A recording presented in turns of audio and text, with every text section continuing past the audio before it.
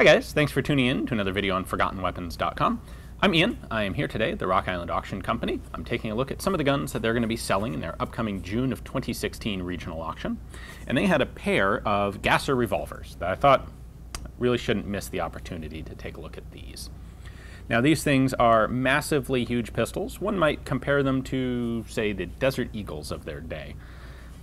But they're really, there are a couple of very interesting pieces of history to these. So of course, when this gun was first developed, it didn't have these ornate grips to it. This was originally uh, made for the Austro-Hungarian cavalry. Uh, this was, these were designed in 1869. They were adopted by the, the Austro-Hungarian Empire in 1870. And the reason that they are so huge is they're actually chambered for the 11.25 by 36 millimeter Werndl carbine cartridge. And the idea here was actually this classic idea that we still talk about to this day of cartridge interchangeability between a handgun and a rifle. So you see that in a lot of different places. You'll see it, for example, with the Spanish Guardia Civil choosing their carbine based on their handgun cartridge. You see a lot of it talked about in the Old West, carbines and handgun cartridges, again, being chosen so you only need to get one type of ammo and you can use it in both guns. Well, the same thing applied here.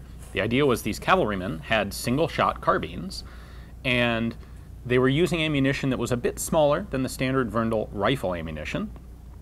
Um, the U.S. did the same thing with trapdoor Springfields. The carbines were issued a lighter load than the full-length rifles.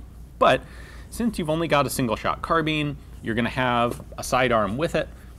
Well, why not make it uh, use the same ammo? Uh, save some logistical effort, that sort of thing. So that's why these guns have such huge cylinders uh, and long barrels, is to take advantage of the amount of black powder in that rather large cartridge. So these cartridges originally fired about a 310 grain bullet at about 700 feet per second. Uh, for you non-American folks, that comes out to about 440 joules of muzzle energy, which on an energy scale, that's a little bit low. That's about equivalent to a 9 millimeter parabellum. But that's, of course, not necessarily the whole story because this is a very large bullet going fairly slowly where muzzle energy tends to favor high velocity bullets. So I would compare this to about a 45 ACP. 45 was a 230 grain bullet at 850. This is 310 at 700. You don't want to get shot by one of these. Let's, let's just leave it at that. So these were developed by a guy named Leupold Gasser. Uh, he founded the Gasser Company. Uh, he actually died in 1871, just after these guns had been put on the market. Um, however, his son picked up the business and continued the work and developed a bunch of other uh, revolver patterns. Ultimately, the most successful one would probably have been the 1898, which was adopted and used by the Austro-Hungarian military as well, and it was one of their standard sidearms through World War I. Now, obviously, this humongous black powder revolver became obsolete, and when that happened, they were put on the surplus market. This was a time when a lot of uh, government military arms were simply sold off when they were considered obsolete. Now, around this time period, we have the Kingdom of Montenegro. Uh, it was an independent country until 1918. It became part of Yugoslavia after World War I. But going into the war, it was its own small independent country. It was ruled by King Nicholas. Now, he ruled from 1910 to 1918, and probably, I'm sure he did some cool stuff or maybe some terrible stuff. I honestly don't know a whole lot about King Nicholas, except the one thing that he's best known for in gun circles, which is he decreed that every adult male in Montenegro must possess a Gasser pattern revolver. Now, ostensibly, this was done for reasons of national security, very much like the, the American Second Amendment. The idea was the best way we can defend Montenegro from a whole bunch of, you know, potentially territory-hungry competitors or uh, neighbors is to have everyone armed to the teeth. So it, it's also been suggested, although I haven't seen any actual proof, that King Nicholas may also have had stock in the Gasser industrial concern. So he might have been profiting directly from this. At any rate, he declares that everyone has to own one of these, and so there's a huge number of sales of these guns to Montenegro. Uh, a lot of the Austro-Hungarian surplus guns ended up being sold there, in addition, there was this huge rush of commercial gun makers eager to fill this new demand, and so you had a lot of Spanish and Belgian copies of these guns being sold as well. So the quality really totally runs the gamut from fantastic guns, mostly Austrian made, Gassers were, were very well made guns, all the way to total junk. Uh, and you'll see a huge variety of patterns. These are both open frame, and they have loading gates on them, which we'll take a look at in a moment. Uh, you'll see solid frame ones, you'll see uh, side loading gates, you'll see horizontal loading gates. Um, what, you'll, you'll, see different finishes, blued, nickeled, engraved, fancy grips, uh, silver plated sometimes. It, these guns became a status symbol. If everyone's required to own one, or every male is required to own one, you know, the people who have more money and are a little better, better off are going to use this as a way to show that. Um, something pretty typical through human history. So the result was really big revolvers. This one actually has engraving on it that 100 years ago looked really nice. It's pretty heavily worn, but the engraving, to me, is actually way more tasteful than the grips. Um, but you get this sort of thing.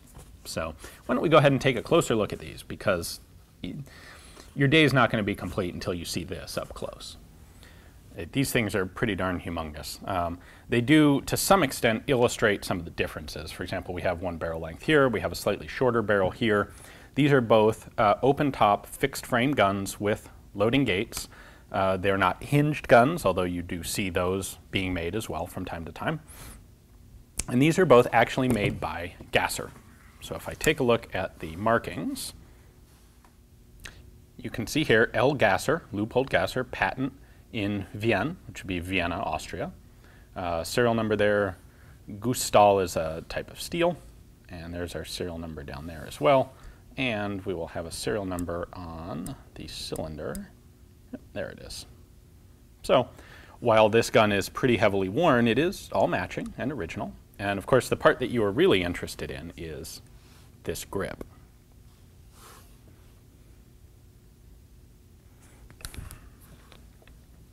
That grip really is something else.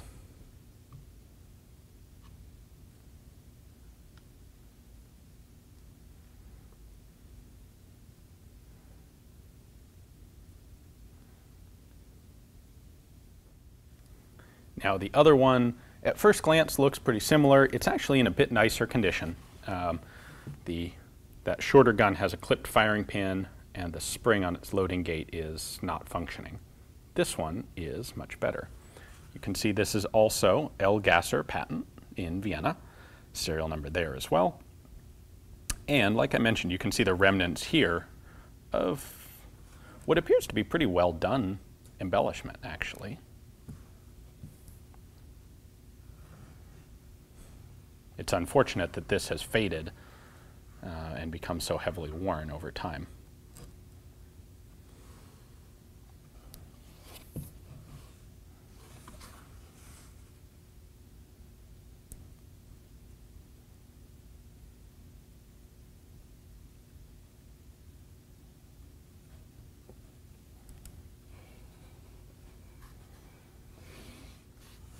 Now mechanically, the way these guys worked, uh, they are double action guns, so you can cock the hammer just by pulling the trigger.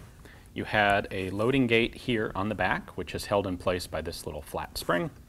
You open the loading gate, put the hammer at half cock, which it is right now, and then you can cycle through and load the cartridges. You can see in here, nice, you know, this is one of the, the features from Gasser, being a high quality revolver. It has uh, countersunk chambers, so the rim of the cartridge sits all the way down inside the chamber. That's a definite safety improvement. If you should have a case fail, that does a much better job of containing the gas and making sure that it goes forward and not backward at the shooter. So uh, you have a, an ejector rod here. Now it's kind of funny, this is actually a set screw that holds the ejector rod in place. There's a little, little detent hole in the rod itself. So once I open up that thumb screw, then I can use the ejector rod here to punch out all of my empty casings. When I'm done, I pull it all the way back out and then just tighten down that thumb screw and that holds it in place.